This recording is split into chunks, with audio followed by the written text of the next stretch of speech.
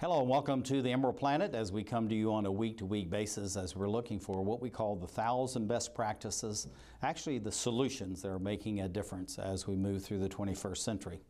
And we are estimated to have a planet of 9 billion people by 2050.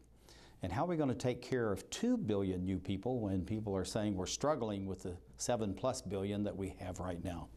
And I have someone sitting right beside me who's actually working on this issue, many issues actually. Her name is uh, Hellen Fissihaie, and she is the principal and CEO of what's called F3 Global.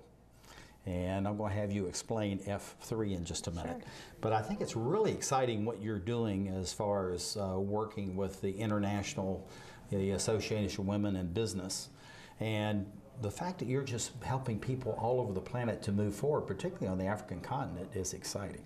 Well, thank so you. tell us a little bit about F3 Global. What F3 sure. stands for and what is the organization? Sure. Um, F3 Global stands for Focus Future Forward. And so our goal, we are actually a strategy consulting firm that focuses primarily on developing uh, human capacity on the continent as well as in the Middle East and in the Caribbean.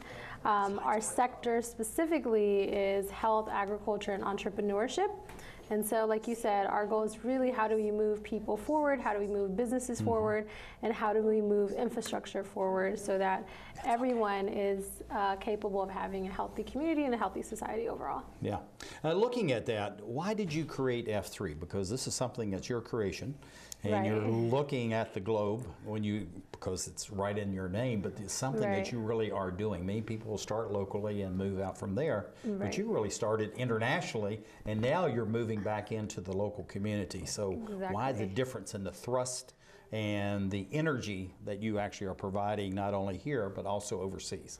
Well, I mean, my family is kind of global. I have family all over the world, from the U.S. to the Middle East to Europe to Africa. I was born on the continent of Africa.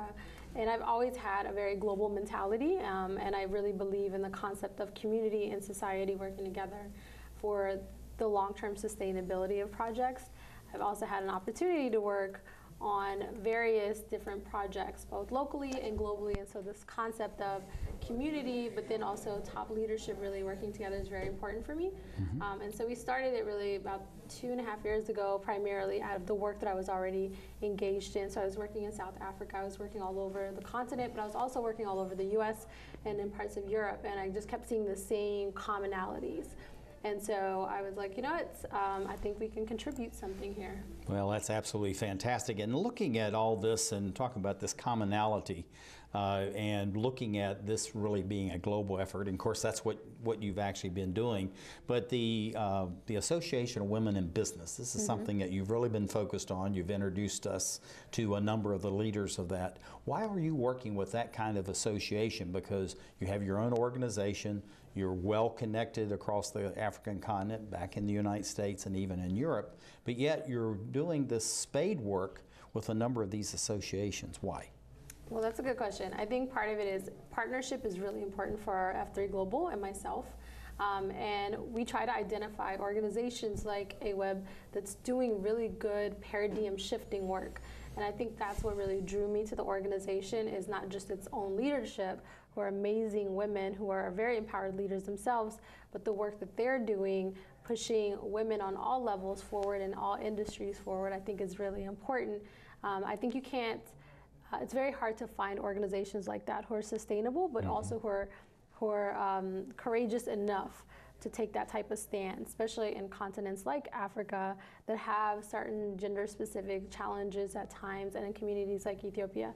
Um, and so they're doing the work. I think they are actually the only paradigm shifting organization on the ground but also who are connected to the diaspora. And so for me, that's important that you have both components, which is the local component, but then mm-hmm. the connection and the bridge to the diaspora. So, which is why we love AWEB actually. well, we're talking about the diaspora. So mm-hmm. let's define our term. What is the diaspora?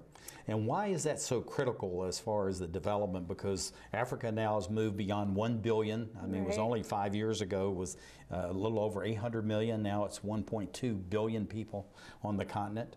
And uh, the economic growth there is some of the highest in the world, beyond most of the developed nations and even some of the countries move beyond China and India. So this is a huge move forward, and we have what's called Africa Fast Forward and Emerald Planet, and I know you have a similar concept in what you're doing with uh, AWEB and also with your own organization. Right.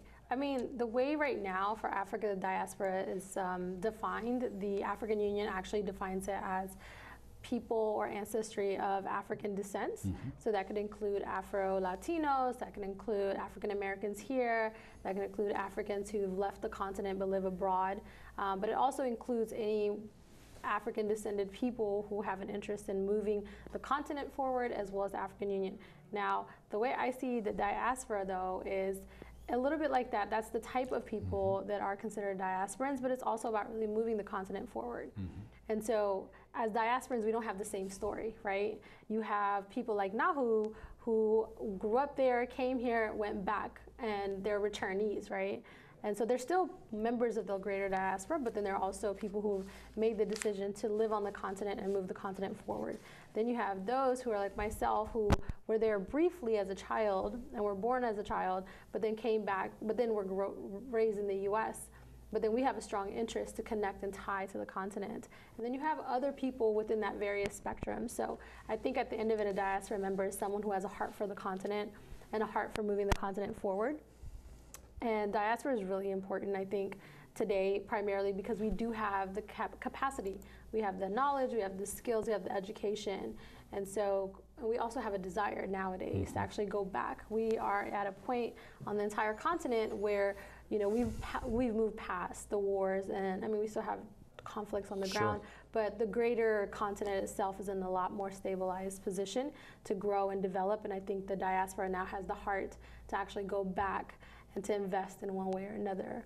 So, and, and it has a very young population. Over half the population is 25 or less. But it really sounds like, as far as the diaspora, the definition is it's not only just the origins, Right. but the willingness to give, the willingness to do, the willingness to be Right. involved. And let's introduce uh, Nahu again as Nahu Girma. She is the founder and director of the Association of Women Exactly. uh, in Business. So we can clear that up. But looking at uh, what you're doing, you were in uh, Ethiopia and uh, we're giving a series of seminars, lectures, demonstrations over there. So, what were your feelings while you were there as you're meeting people and uh, not only through the formal lectures and the formal sessions, but also just being out in the community, going to people's homes? What was your feeling about where they want to be in the future and how your work and also AWEB, how that work is really going to help Ethiopia, but also many other countries. right. You know, my experience at the May Forum, which is AWEB's annual uh, conference that they host uh, at the UN, was really exciting. For one, I was excited by the type of women that I met. You know, the single stay-at-home mothers, the mothers uh, that have various children but husbands at work. You also met the CEOs of Ethiopia, um, both men and women, and it was exciting to see all these people excited actually about their own development, personally, professionally, and even the country's development. Saw a lot of infrastructure changing mm-hmm. rapidly. So for me, what that signaled is that we're at a really prime point where countries like Ethiopia can literally become models of development. Now, granted, there's still a lot of work to do on the ground. There's still a lot of problems, but then there's also new solutions. I think that's where we fit in the problems that do exist around infrastructure, mm-hmm. development. Um, these are things that I think my, our company, as well as diasporan companies, can do. But then you have to have solid partnerships like AWEB to actually do the work. I don't see F3 Global really doing the work by ourselves in Ethiopia. I see us as part of a larger consortium of companies and organizations like AWEB and you know uh, Ethio Jobs and all these other great companies we met on the ground. In partnership, I think we can move continentally, the entire continent forward, locally, different countries forward. Yeah, we were working with three, uh, 13 different countries on the continent of 54. And the whole thing about that, there's a great sense of community, there's a great sense of family, and that's something they really build on. So, looking at uh, when you were giving the seminars and all that, how did this family connection, how was this networking aspect? I don't mean just, you know, you show Right. up at an event and, you know, you have the, uh, you know, glass of wine or a cup of Right. tea and something to eat and exchange business cards. They do things very differently as far as networking. Right. So, how did you see that playing out while you were there? You know, it was a blessing actually, because in the US it'd say, Hi, how are you? What's your name? Where do you work? and how can we help each other, right? But over there, it's really familial. It's very, mm-hmm. you know, someone, you meet someone, they like you, they introduce you to their friends, and any needs that you have that you express or don't even express, they, they work towards helping you fulfill that. Mm-hmm. I was very blessed to come in through AWeb and come to their event. And in doing so, in that week that I was there, I literally met everybody because of AWeb. Mm-hmm. They introduced me to presidents of various organizations. They made sure my stay was completely comfortable. I felt like I had sisters there, to be honest. Mm-hmm. And so it really felt like I was actually working, but I was there to visit family. That's Yeah. exactly how I felt. Yeah, So and when. I've gone to places, you know, like uh, the Congo and Kenya and places like it, it's the very same thing. They meet you at the airport, actually will Mm-hmm. Come in the plane In the of the if they can, and uh, they stay, and then they deliver you back to the plane. Exactly. And they don't leave you the whole time that you're No, there. they don't. And they make sure you know everybody you're supposed to know while you're there and all the ones Mm-hmm. that they know. That's uh, very important. Uh, one of the lessons, of course, is, you know, it's about family. What are several, say, two or three other lessons that you learned from your experience in Ethiopia and also ha- hosting them here in the United States? Right. I think one of the number one most critical lessons I think to understand, just even working in Africa, but specifically in Ethiopia, is that the the private sector is just slowly developing, mm-hmm. right? So the idea that private sector moves as fast as it does here is very incorrect. And so while I was there, I had a chance to meet probably some of the top private sector leaders and just have conversations, coffee, dinners, everything with them to understand where the private sector is and where it's going.